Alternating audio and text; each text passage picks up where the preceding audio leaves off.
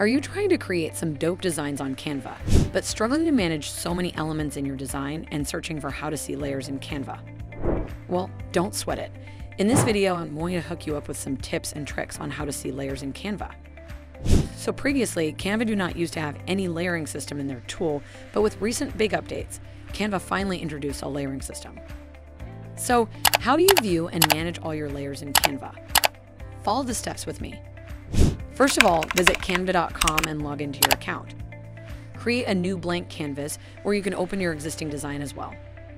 To see the layers on Canva that make up your design, click on the Position tab from the top toolbar and then click on Layers.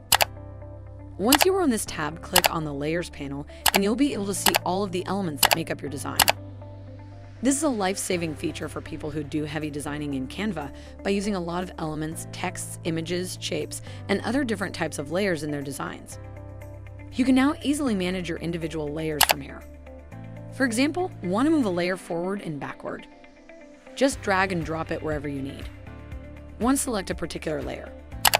Just click on the little preview image in the Layers panel, and that layer will be highlighted in the canvas. You can also select multiple layers by holding the Shift key on your keyboard and clicking through the layers. There's this cool feature called overlapping layers. Now what is that? Let me tell you with an example. Let's say we have an image of a rabbit here and it is overlapping five different layers beneath it, which you can't see because they are behind the rabbit image.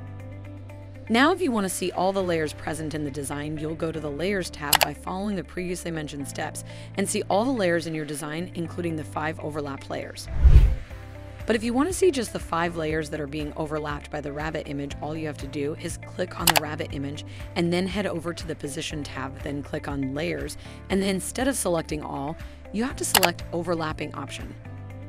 Now you can see only the rabbit, and five images that are overlapped by the rabbit image are visible. Well, that little rabbit was hiding a lot of stuff. So that's how you access the new layer feature inside Canva.